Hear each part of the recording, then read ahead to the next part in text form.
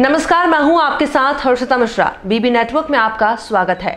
चलिए बढ़ते हैं आगे और आपको दिखाते हैं क्या कुछ चल रहा है मुंबई की राजनीतिक क्षेत्र में और मुंबई की फिल्मी दुनिया में।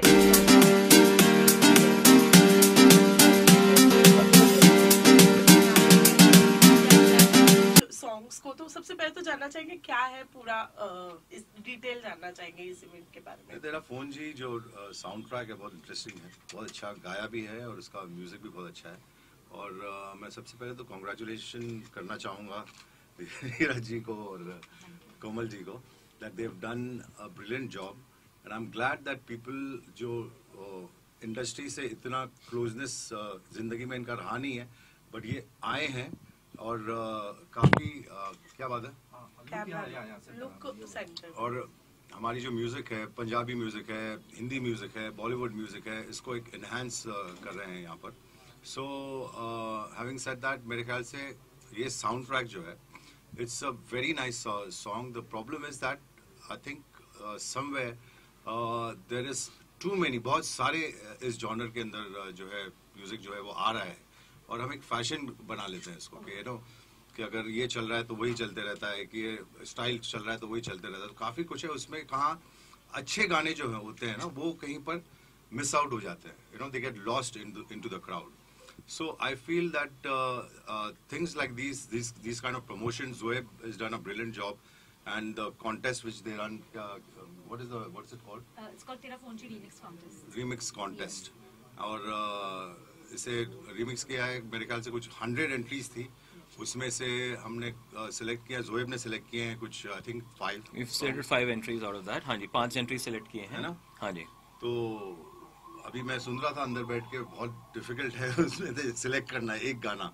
तो all the talents are put together which is a very good thing okay sir आपने गाने तो सुन लिए हैं और यू नो तो रिजल्ट्स पर आए हैं तो जानना चाहेंगे कि किसको विनर चुना है आपने और क्यों चुना है इसके बारे में अभी सुनाना है विनर हाँ विनर वी कैन सर्टनली भी डिक्लेयर करते हैं विनर को. कंटेस्टेंट वेट कर रहे हैं कि like when will should I talk about it हाँ जी हाँ जी please uh, there are one, two, three, four, five. So एक जेंटलमैन है uh, जिनका नाम है Akhir. He has made the song but he has done it a little too fast it's a little fast so it's a question mark Lucky is done a very good job जो उसका जो drop डाला है गाने के अंदर, बहुत ही अच्छा है। बंटी ने बहुत अच्छा काम किया सिंपल रखा है। डीप हाउस जो आज पूरे दुनिया में एक जॉनर है, बहुत पॉपुलर है। तो वो एक लुक दिया है उसने उसको स्लो करके थोड़ा सा। और that is sounding excellent Neon और विपुल ये दो लोगों ने कमाल किया है गाने के साथ में which is hats off to them they've done a brilliant job तो it's again up till now जैसे कि मैंने कहा कि बहुत डिफ़िकल्ट है इसको सिलेक्ट करना तो दोनों के नाम लिखे हैं अब देखते हैं आगे क्या होता है। वजह थी यू नो आपने क्यों इस सॉन्ग को प्रोड्यूस करने का सोचा? क्या वजह थी? सो मैं जब भी देखता हूँ ना सो मार्केट में ऑफकोर्स जैसे अकबर जी ने बताया था लॉट ऑफ़ सॉन्ग्स आउट है राइट अभी the way I want to see it जो इंडस्ट्री है कि एक अच्छा प्लेटफॉर्म दो जिससे नया टैलेंट उभर के आए। तो उसके बाद हम लोगों ने पहले क्या किया हम लोगों ने नॉर्थ में गए हम लुधियाना में। एंड वहाँ पे हमने प्रॉपर ऑडिशन किया and we launch new artist Mandy Bilga of course is not here with us today he is in Ludhiana he had another commitment but that said अभी the idea was of course we have an artist उसका गाना उन्होंने release किया, उसको पूरा present किया है. तो certainly you know people have liked him from what I can see अब द आइडिया वाज ओके गाना तो बनाया है, अभी what else can we do with the song so the idea was why not even look at the budding DJs क्योंकि ये नहीं कि यार if there is a big name and then you know people are going but what about the other DJs उनको भी तो platform देना है। सो so, हमने जब ये देखा कि आगे से जोएब जी ने जैसे बताया and even as Komal mentioned काफ़ी हमें हमारे पास लोग कमेंट में कर रहे थे कि यार यू you नो know, इसका अच्छा अपना टेन सेकंड्स की बाइट देके जो भी है यू नो एंड अभी क्या करते हैं लोग सॉन्ग लेते हैं और खुद ही यू नो अपने हिसाब से मिक्सिंग करते हैं। तो हमने बोला कि let's just open DJ contest और हम सबको ओपन फाइज देंगे जितने भी हमारे कंटेस्टेंट्स हैं। उनको फुल फ्रीडम दो हमें कुछ नहीं है, उनका background there is no fee to it we not charge any entry fee to any of the contestants it is something purely to promote talent and then the ideas ऐसी नहीं यार कि यू नो मुझे यार एक song से करना पड़ रहा है। मेरे पास ओपन ट्रैक से मेरे पास फुल फ्रीडम है। एंड मुझे पता है कि मेरा सॉन्ग जो है, अभी वो जी म्यूज़िक पे जाएगा। तो एक अलग से एक मोटिवेशन भी होती है। एंड ऑफ़ कोर्स हमें ये मोटिवेशन मिलती है कि यार इट्स गुड कि और एक नया टैलेंट जो है वो मार्केट में आए।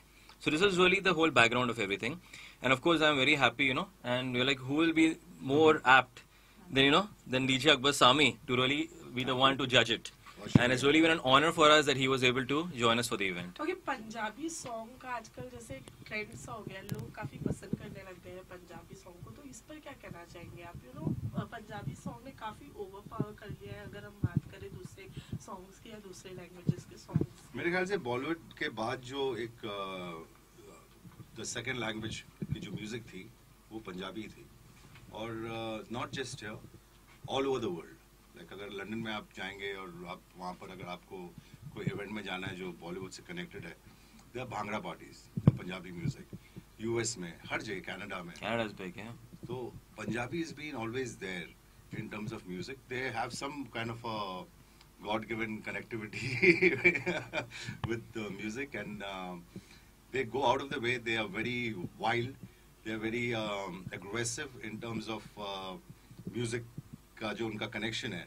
और uh, अब लास्ट आई थिंक थ्री तीन चार साल से इंडिया में ये जो uh, शुरू हुआ है जो इसका एक uh, ज़ोर है और बहुत ज़ोर से पकड़ा हुआ है। तो मैं भी जब अभी इवेंट्स में पार्टीज़ में म्यूज़िक प्ले करता हूँ तो without playing those 15 20 30 Punjabi song the party is not complete And the Punjabi remixes, of course, you know, yeah. Not just another remix, Yes, you know. yes. People want more remix essentially, yeah. And of course, the remix has to be good. अब मेरे पास पाँच और remixes आ गए हैं गाने के तो हाँ उसको। मैं प्ले करूँगा आज. सिलेक्ट करना है आज सिलेक्ट करना है कि कौन सा वो रिमिक्स होगा जो मैं अपने सेट में प्ले करूँगा That'll be our honor. Thank you so much. I would, Yeah. I would just like to say, you know, really uh, thankful that Mr. Sami, a legend like him, agreed कि हमारे uh, इसको remix contest को ये करेंगे. Judge, it's really nice of him. Is like one of the legends. All our contestants look forward to, you know, the results. तो wait करें कि जाने की क्या, you know, Mr. Sami ने decide किया. है.